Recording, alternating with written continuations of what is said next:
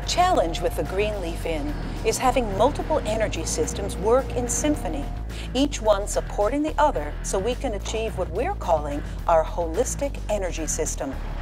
A perfect example of this holistic balance is the water tanks that are being buried within the campus. This 18,000 gallon storage tank will actually be part of our geothermal system and will also be used as a thermal storage transfer for the dumping of heat and the supply of heat energy to the geothermal heat pump.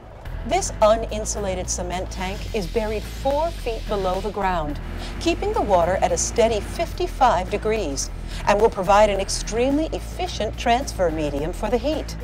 By the way, this tank will be filled entirely by rainwater, keeping it from being wasted as runoff, and will also be used to support the fire suppression system for the inn without using our well water.